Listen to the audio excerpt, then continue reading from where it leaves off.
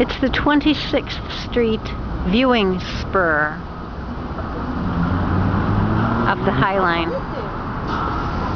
So it juts out into the intersection of 26th Street.